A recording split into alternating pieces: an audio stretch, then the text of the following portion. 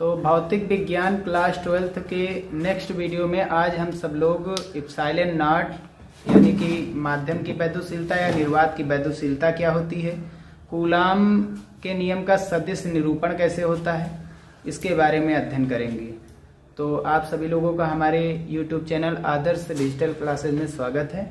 शुरू करते हैं इप्साइलन नाट। सबसे पहले जानेंगे इप्साइलन नाट होता क्या है? तो इप्साइलन नाट को कहा जाता है निर्वात,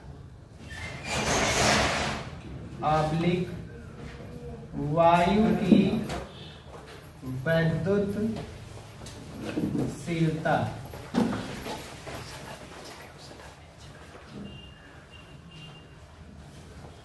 तो निर्वात या वायु की वैद्युत शीलता। इसका काम क्या होता है? ये हमें बताता है किसके मध्य? वैद्युत बल रेखाओं में सघनता या विरलता को बताता है। सघनता या विरलता को बताता है। ठीक है? विरलता को बताता है। यानी वैद्युत बल रेखाएँ कितनी पास या कितनी दूर है इसके बारे में बताता है। ठीक है? तो इप्साइलन नाट को कहा क्या जाता है? निर्वात या वायु की वैद्युत शीलता। और ये हमें क्या बताता है? वैद्युत बल रेखाओं के मध्य सघनता और विरलता। वैद्युत बल रेखाएँ क्या होती है? ये आगे के वीडियो में हम जानेंगे। तो यानी कि इसके मध्य कितना यानी वैद्युत बल रेखाएँ कितनी पास या कितनी दूर है वो उसी के बारे में बताता है। ठीक है? तो हमने कल देखा था, one upon four pi epsilon nought. ये जो है नौ गुड़े दस की घात नौ न्यूटन मीटर स्क्वायर प्रति कूलाम स्क्वायर के बराबर होता है। यही तो बताया गया था। अब यहाँ से हम किसका मान निकालेंगे? इप्साइलन नॉट का मान निकालेंगे। तो क्या करेंगे हम? इप्साइलन नॉट इसे हम सबसे पहले पलट देंगे। इसे हम सबसे पहले क्या करेंगे? पलट देंगे। तो फोर पाई साइलेंट नॉट कहाँ चला जाएगा? ऊपर और वन कहाँ जाएगा? नीचे। इसमें वन नीचे आ जाएगा नाइन इंटू टेन की पावर नाइन नी, नीचे आ जाएगा और वन ऊपर चला जाएगा। मात्रक भी बदल जाएगा पलट जाएगा। कूलाम स्क्वायर ऊपर न्यूटन मीटर स्क्वायर नीचे। अब हम क्या करेंगे? वन नीचे लिखो चाहे ना लिखो। हमको चाहिए केवल इप्साइलन नॉट। इसे रोकेंगे फोर पाई को कहा ले आएँगे? नीचे। तो epsilon nought is equals to one upon four pi into nine into ten की पावर नाइन कूलाम स्क्वायर प्रति न्यूटन मीटर स्क्वायर तो इसे हल करेंगे तो वन अपान फोर चार नवाई छत्तीस. और गुड़े में कितना है? पाई का मान कितना होता है? तीन दशमलव एक चार या बाईस बटा सात गुड़े में दस की घात नौ. कूलाम स्क्वायर प्रति newton metre square metre square अगर हम इसे सॉल्व करेंगे गुड़ा कराएँगे यहाँ पर देखो दस की घात नौ नीचे प्लस का ऊपर जाएगा तो माइनस माइनस का कर देंगे। अब गुड़े में नीचे यहाँ पर कितना बच रहा है? छत्तीस गुड़ा तीन दशमलव एक चार। अब यहाँ पर हम दस की घात एक हज़ार तीन ज़ीरो प्लस के ले रहे हैं तो तीन ज़ीरो माइनस माइनस के ले लेंगे। यानी एक हज़ार से गुड़ा एक हज़ार से भाग। और एक हज़ार से जब भाग करेंगे एक हज़ार का मतलब दस की घात तीन होता है वो ऊपर जाएगा तो माइनस में हो जाएगा। ठीक है? तीन ज़ीरो प्लस के ले लिए तीन ज़ीरो माइनस के ले लिए तो हल करेंगे तो यहाँ से ये चार नवाई छत्तीस और ये पच्चीस चौके सौ। ढाई सौ हो जाएगा। इसे भी काटेंगे तो तीन दो से काटेंगे दो एक दो दो पंची दस दो सते चौदह। और ये कितना आया? एक सौ पच्चीस। अब अगर जो इसे टोटल हम सॉल्व करेंगे तो ये कितना आ जाएगा? आठ दशमलव आठ पाँच गुड़े दस की घात माइनस बारह। ठीक है? ये इतना आ जाएगा। इप्साइलन नाट का मान मात्र कितना हो जाएगा? कूलाम स्क्वायर ऊपर और न्यूटन मीटर स्क्वायर नीचे। नीचे। ये बन जाएगा इसका मान। ठीक है? तो ये इसका मान बन गया। इप्साइलन नाट का मान कितना होता है? इप्साइलन नाट का मान होता है आठ दशमलव आठ पाँच गुड़े दस की घात माइनस बारह। कूलाम स्क्वायर प्रति न्यूटन मात्रक भी साथ में हो गया। जी सर। ठीक है? जी सर। अब इसके बाद क्या बचा है? बीमीय सूत्र। चलिए हम इसका बीमीय सूत्र भी देख लेते हैं। तो कूलाम किसका मात्रक होता है? आवेश। का आवेश आवेश की बीमा होती है एटी और यहाँ स्क्वायर लगा है तो ए का भी स्क्वायर और टी टी का भी स्क्वायर नीचे। न्यूटन किसका मात्रक होता? है बल का। और बल की बीमा होती है एम एल टी की पावर माइनस टू और मीटर किसके किसकी मात्रक होता है? लंबाई का। और लंबाई की बीमा होती है। ऊपर स्क्वायर लगा तो स्क्वायर हल करेंगे जब इसे तो m नीचे घात एक है ऊपर जाएगा तो माइनस माइनस का एक L देखो यहाँ पर एक और यहाँ पर दो। गुणे में घाते जुड़ती जुड़ती है। दो और एक तीन। तीन नीचे प्लस के ऊपर जाएँगे तो माइनस अब देखो t माइनस का है यहाँ पर दो ऊपर जाएगा तो प्लस का दो और दो। पहले से ही ऊपर से कितने हो गए? चार। और a कितने हैं? दो। ये हो गया। तो ये मोस्ट इंपॉर्टेंट है बोर्ड परीक्षा के लिए। कि इप्साइलन नाड का विमीय सूत्र क्या होता है या मात्रक क्या होता है? ठीक है? और मात्रक और मान जो होते हैं ये बोर्ड परीक्षा के जो पेपर होते हैं उसके पीछे लिखे भी रहते हैं। ठीक है? तो ये हो गया इसका। तो इप्साइलन नाड क्या होता है? बता दिया गया। अब यहीं पर हम एक हेडिंग देख रहे हैं परावैद्युत पदार्थ क्या होता है? दूसरी हेडिंग है परा वैद्युत पदार्थ। अब ये इसलिए कि प्रयोग किया जाता है ताकि बल जो वैद्युत बल है उसके मान को कम किया जा सके। वैद्युत बल के मान को कम किया जा सके। जैसे कहाँ पर यूज़ कर सकते हैं? जैसे हम ले लेते हैं एक प्लेट प्लस की दूसरी प्लेट माइनस की। इन दोनों के मध्य कौन सा बल लगेगा? आकर्षण। और ये दोनों आपस में क्या हो जाएँगी? चिपक जाएँगी। अब जब चिपकेंगी तो फिर प्लस माइनस के आने से क्या आएगा? विस्फोट होगा कुछ। हानियाँ होंगी। इसलिए ये आपस में चिपके ना यहाँ पर एक चीज़ लगाई जाती है। और वो चीज़ होती है कोई एक प्लास्टिक लगा दी जाए कोई एक कागज़ भर दिया जाए। अन्य पदार्थ यही पदार्थ क्या कहलाते हैं? परावैद्युत पदार्थ। ठीक है जो इस बल के मान को क्या करते हैं? कम करते हैं लेकिन प्रभाव को दर्शाते हैं। प्रभाव आर पार जाएगा लेकिन जो है बल जो है ये ये चिपक नहीं पाएँगे आपस में। ठीक है? तो परावैद्युत पदार्थ क्या होते हैं? तो परावैद्युत पदार्थ वे पदार्थ जिनमें जो है आवेश का आदान प्रदान या स्थानांतरण नहीं हो सकता, लेकिन उसका प्रभाव जाता है। ठीक है? तो वे पदार्थ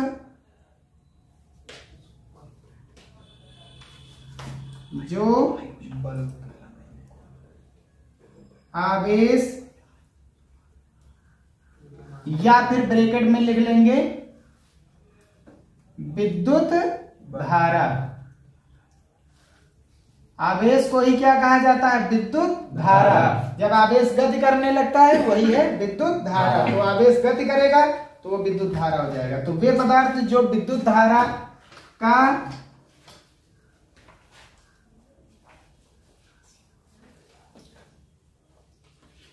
प्रवाह नहीं कराते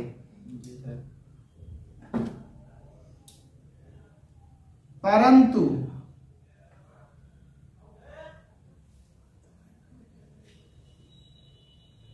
इसके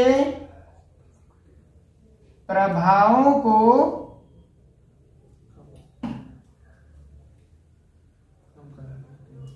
प्रभावों को या प्रभावों का प्रवाह कराते हैं या प्रभावों को दर्शाते हैं।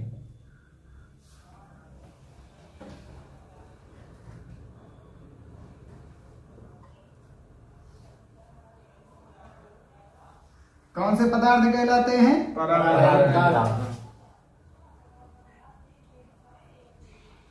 परावैद्युत पदार्थ। पदार्थ कहलाते हैं।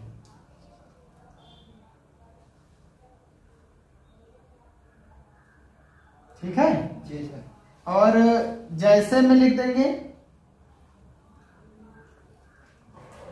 जैसे में लिख लो कांच कागज़ मोम और एक है अभ्रक जल जल भी जल में विद्युत धारा का प्रवाह नहीं होता है लेकिन उसका प्रभाव रहता है। ठीक है जी सर जी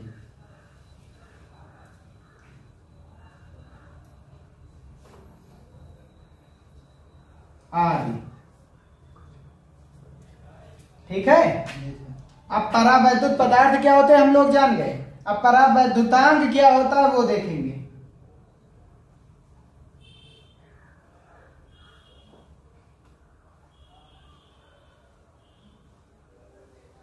तीसरी हेडिंग हमारी क्या है?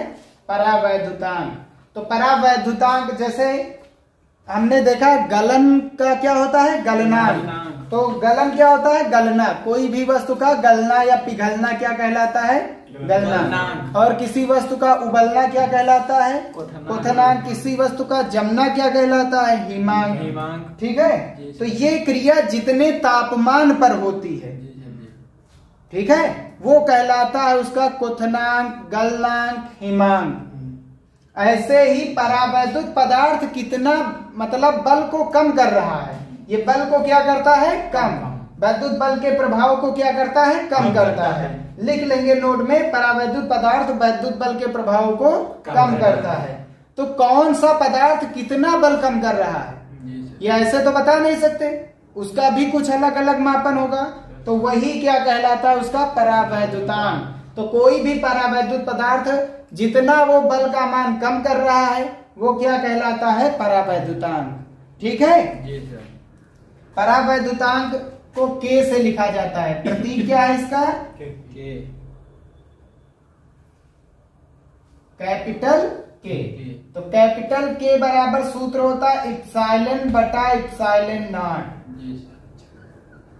इस सूत्र से हम पता लगा सकते हैं कि कहाँ पर जो है बल का मान कौन कौन कम कर रहा है। इप्साइलन क्या होता है? इप्साइलन को कहा जाता है माध्यम की वैद्युशीलता हम यहाँ पर लिखे दे रहे हैं ऊपर ही। इप्साइलन को क्या कहा जाता है? माध्यम की वैद्युशीलता माध्यम जैसे कोई भी माध्यम हो। जिस माध्यम का हम परावैद्युतांक निकाल रहे हैं ये उसी माध्यम की वैद्युशीलता बताएगा। जैसे कांच का परावैद्युतांक हम निकाल रहे हैं तो कांच का इप्साइलन किसका होगा? कांच का। यदि कागज़ का परावैद्युतांक निकाल रहे हैं तो इप्साइलन किसका होगा? कागज़। बाकी तो ये निर्वात की रहेगी। तो माध्यम की वैद्युत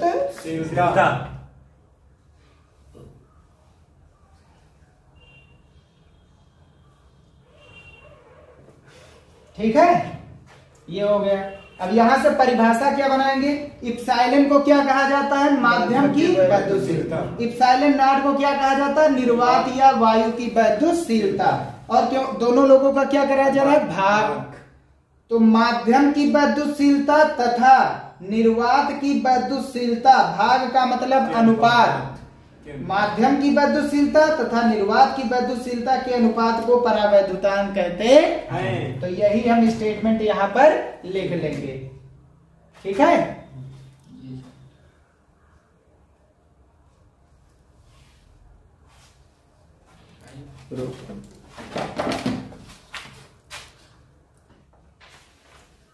तो परिभाषा देख लेते हैं माध्यम की वैद्युशीलता व निर्वात की वैद्युशीलता के अनुपात को परावैद्युतांक कहते हैं। अब ये इप्साइलन बटा इप्साइलन नाट को हम इप्साइलन आर से भी प्रदर्शित कर सकते हैं। बहुत जगह के को इप्साइलन आर से व्यक्त कर दिया जाता है जिसे हम निरपेक्ष वैद्युशीलता भी कहते हैं। और यहाँ से एक सूत्र आएगा कि जो इप्साइलन होता है वो किसके बराबर होता है?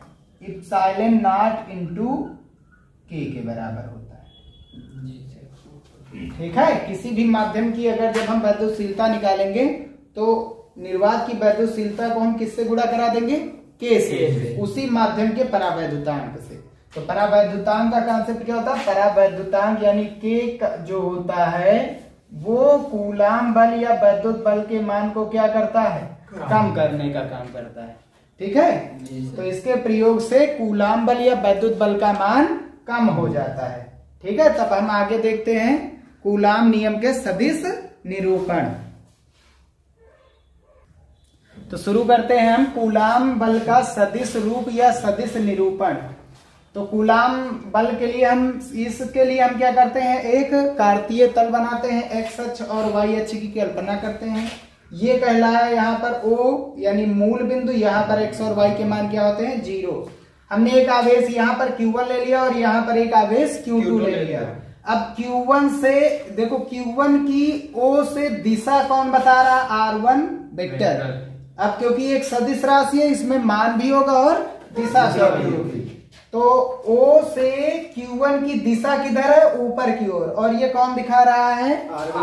तो R1 वेक्टर इसकी पोजीशन को बता रहा है ठीक है? तो R1 को हम क्या कह सकते हैं? मूल बिंदु O के सापेक्ष Q1 की स्थिति सदिश यानी ये एक सेंटर है इस सेंटर से Q1 की पोजीशन कहाँ पर है? ये बताएगा R1 ऐसे ही Q2 Q2 का पोजीशन क्या है? इस केंद्र से तो ये कौन बताएगा? R2 वेक्टर वेक्टर इसलिए लगा दिया गया क्योंकि ये कौन सी राशि है? सदिश दिशा भी होती है मान के साथ साथ। तो R2 वेक्टर मूल बिंदु O के सापेक्ष किसकी स्थिति सदिश है? Q2 की स्थिति सदिश है। R2 जो है Q2 की स्थिति सदिश दिखा रहा है। ठीक है? क्यू वन और क्यू टू के बीच की दूरी समान होगी। जितनी दूर Q1 से Q2 होगा उतनी ही दूर Q2 से Q1 Q1 होगा। होगा। अब Q1 से Q2 की पोजीशन क्या है? ये कौन बता रहा है? R2 R2 वन सदिश। अब Q2 से Q1 की पोजीशन क्या है? आर वन टू तो ये R12 सदिश दिखा रहा है। तो R12 वन लिखा है यानी कि Q1 की स्थिति सदिश। टू किसके कारण? Q2 के कारण। तो दूसरे Q2 के कारण Q1 की स्थिति सदिश। दो के कारण एक की स्थिति सदिश। अब एक के कारण दो दो की स्थिति सदिश। सदिश। तो R21 सदिश बराबर Q1 यानी पहले आवेश के कारण किस आवेश की स्थिति सदिश। अब Q1 से किस ओर है Q2 दाहिनी ओर तो इधर का तीर लगा दिया। अब Q2 के किस ओर है Q1 बाई ओर तो इसकी दिशा ऊपर लगा दिया। ठीक है? अब क्योंकि ये दोनों कौन सी राशि है? सदिश। सदिश। सदिश राशि में क्या क्या चीज़ें होती? मान और दिशा। तो इसकी मान क्या होंगे? दोनों के मान तो बराबर है लेकिन दोनों की दिशा क्या है? विपरीत इसकी दिशा है इधर और इसकी दिशा है ऊपर की ओर। तो आर वन टू सदिश बराबर मान यही है। दिशा बताने का काम क्या करता है? ऊपर क्या लगा दिया जाए कैप कैप लगा दो ये क्या बताएगा? दिशा। ठीक है ये मान हो गई और ये क्या हो गई? दिशा। ऐसे आई टू वन सदिश मान ये हो गया मान तो यही रहेगा। और ये कैप इसके ऊपर लगा देंगे तो ये क्या बताएगी? दिशा। इसे कहते हैं लंब कोणिक एकांक सदिश। इसका मान सदैव एक होता है यूनिट वेक्टर या मात्रक सदिश इकाई सदिश भी कहते हैं। तो लंब कोणीय एकांक सदिश होता है इसका मान सदैव क्या होता है? एक। एक होता है। अब दोनों के ध्यान से देखेंगे तो इस वाले का आर वन टू और आर टू वन दोनों के मान क्या है? बराबर। है ये मान बराबर है लेकिन इन दोनों की दिशाएँ विपरीत है। अब ऐसे फिर आगे हम क्या करेंगे? ध्यान से देखेंगे तो Q1 और Q2 अपने आप में धनावेश है। जी सर। तो Q1 Q2 को क्या करेगा? प्रतिकर्षित करेगा। ऐसे Q2 भी Q1 को क्या करेगा? प्रतिकर्षित। तो इस देखो Q1 आवेश Q2 पर क्या लगाएगा एक बल। उसकी दिशा इधर होगी। जिस ओर किसकी दिशा थी? R two one. R two one भी तो इधर है। और इस इस वाले बल की भी दिशा किधर है? इस ओर। दोनों की दिशाएँ क्या है। समान है। ठीक है? जी सर। ऐसे ही एफ़ वन टू की दिशा किधर है? ऊपर की ओर। और इस ओर पहले से ही किसकी दिशा थी? R12 are one two vector की। तो इन दोनों की दिशा क्या है? समान है। ठीक है ना? जी सर। अब दोनों प्रतिकर्षित प्रतिकर्षण बल लगाएँगे। अब ये पहले आवेश पर बल लग रहा है। किसके कारण? दूसरे के कारण। तो दो के कारण। आवेश दो के कारण पहले आवेश पर लगने वाला बल एफ़ वन टू सदिश। अब इस ये इस वाले यानी आवेश पर कितना बल लगेगा? Q2 पर यानी दूसरे आवेश पर बल लग रहा है। कौन लगा रहा है? पहला। पहला आवेश तो Q1 जो है Q2 को इधर ढकेल रहा है। तो पहले आवेश के कारण दूसरे आवेश पर लगने वाला बल F21 सदिश। इसकी दिशा किधर है? F देखो इक्कीस इक्कीस वाले की दिशा एक तरफ़। बारह बारह वाले की दिशा एक तरफ़। आर वाले की दिशा कौन बताता है? कैप इस वाले आर की दिशा कौन बताता है? ये वाला कैप। तो। यानी इस वाले बल की भी दिशा किधर होगी? जिस वाले इस आर की दिशा। है जी सर इस वाले बल की दिशा उधर ही है जिस जिस तरफ़ इस, किसकी दिशा है? R12 इस वाले। ठीक है ना? जी सर तो पहले Q1 के कारण Q2 पर क्या लग रहा है? बल। तो Q1 के कारण किस पर बल लग रहा है? दूसरे आवेश तो आवेश। Q2 पर। बल Q1 के कारण। ये पढ़ चुके हैं दो आवेशों के मध्य बल कितना लगता है? K constant one upon four pipe सालिन पहला आवेश Q1 दूसरा आवेश Q2 Q2 दोनों के बीच की दूरी क्या है? R12 R12 कह देंगे या R21 दोनों के मान क्या है? समान। स्क्वायर आप देखो 21 वाले की दिशा किधर है? कौन बताएगा? 21 इसकी दिशा और इसकी दिशा सेम है। इस वाले आर की दिशा पता है। इसका मतलब जिस ओर ये वाला आ जा रहा है उसी ओर ये क्या जा रहा है? बल। बल। तो दोनों की दिशा क्या है? समान। इसकी दिशा कौन बता रहा है? ये वाला कैप तो बल की भी दिशा कौन बताएगा? यही वाला ठीक है ना? दोनों की दिशा समान है तो जो उसमें यूज़ किया गया वही इसमें भी। दिशा तो एक ही है। तो दिशा ये बता रहा है तो ये भी दिशा है। समीकरण नंबर एक। अब Q2 पर Q2 के कारण Q1 पर बल यानी ये वाला आवेश इस पर कितना बल लगा रहा है? कितना बल लगा रहा है? F1 के कांस्टेंट पहला आवेश Q1 दूसरा आवेश Q2 दोनों के बीच की दूरी बीच की दूरी यही है चाहे जो रखो। समान। इसका स्क्वायर अब ध्यान से देखेंगे 12 12 इस वाले बल की दिशा किधर है? इस वाले आर की ओर। इस वाले आर की दिशा कौन बता रहा है? ये वाला कैप ठीक है? तो ये वाला R और ये वाला बल F दोनों एक ही दिशा में है? और इसकी दिशा कौन बता रहा है? कैप वाला। तो इसकी भी दिशा कौन बताएगा? कैप वाला। तो कैप लिख दिया गया। क्योंकि बल कौन सी राशि होती? है सदिश। और सदिश राशि में मान के साथ साथ क्या होती है? दिशा। मान के साथ साथ। दिशा। अब परंतु हम देखेंगे जो आर वन टू कैप और आर टू वन कैप है। दोनों के मान बराबर है लेकिन दोनों आपस में कौन से सदिश है? विपरीत। क्योंकि एक सदिश इधर है तो दूसरा सदिश इधर है। तो दोनों सम, कौन से सदिश है विपरीत सदिश। तो दोनों में अंतर का है दिशा का अंतर है तो आगे क्या जोड़ देंगे माइनस। माइनस और प्लस का काम होता है दिशा को बताना। अगर दिशा चिन्ह समान है तो दिशा भी समान। अब अगर जो चिन्ह अलग अलग है तो दिशा भी विपरीत। तो आर वन टू कैप को हम क्या लिख सकते हैं आर टू वन कैप क्योंकि दोनों की दिशाएँ क्या है अलग है तो इस इसकी जगह पर हम माइनस आर टू वन लिख देंगे। तो K Q one Q two upon R one two square और into R two one cap ये किसके बराबर? समीकरण एक देखो समीकरण एक में ये दोनों सेम सेम है कि नहीं? जी सर समीकरण एक से इसका मान उठाएँगे तो ये किसके बराबर? है एफ़ टू वन तो इसकी जगह पर हम क्या रख देंगे? एफ़ टू वन इसका मतलब ये हुआ कि दूसरे आवेश के कारण पहले आवेश पर लगने वाला बल और पहले आवेश के कारण दूसरे आवेश पर लगने वाला बल। इसके मान बराबर है परंतु इसकी दिशा क्या है? विपरीत। माइनस चिन्ह का मतलब है इन दोनों में दिशा जो है वो विपरीत है। और यही कूलाम बल का सदिश निरूपण या वैद्युत बल का सदिश निरूपण। कूलाम के नियम का सदिश रूप यही है ठीक है? देखेंगे देखो दोनों दोनों बल यानी कि जितना आवेश Q1 जो है Q2 पर बल लगा रहा है उतना ही Q2 जो है Q1 पर बल लगाएगा। दोनों के मान बराबर। लेकिन इन दोनों की दिशाएँ क्या है? अलग अलग। अगर एक प्लस का आवेश लेंगे दूसरा माइनस का तब भी दिशा अलग अलग ही रहेगी। उसमें आकर्षण आ जाएगा। दिशा फिर भी अलग रहेगी। तो ये थे कुलाम बल का सदिश निरूपण का कॉन्सेप्ट ये कैसे होता है देख चुके हैं। तो वीडियो पसंद आया तो वीडियो को लाइक करिएगा। मिलते हैं नेक्स्ट वीडियो में। अब हम जो है वैद्युत आवेश जो है यहाँ पर खत्म हो चुका है। अब वैद्युत आवेश पर आधारित न्यूमेरिकल्स उनको हम हल करेंगे, फिर इसके बाद हम वैद्युत क्षेत्र पढ़ेंगे। ठीक है?